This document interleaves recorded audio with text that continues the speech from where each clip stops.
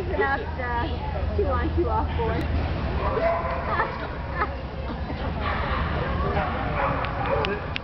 She's working on trying to get him to do a handstand. Admit it, and without the wall. Now, if you can teach that, you teach the wall, that would be impressive. yeah, that's true. Then you need some front hand swing.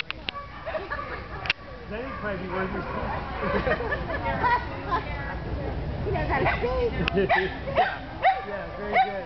Thanks. You can get out.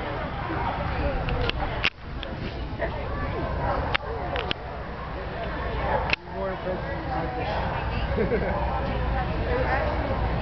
It's amazing. It's easy to teach him how to speak. Uh, Teach him how to show. yeah.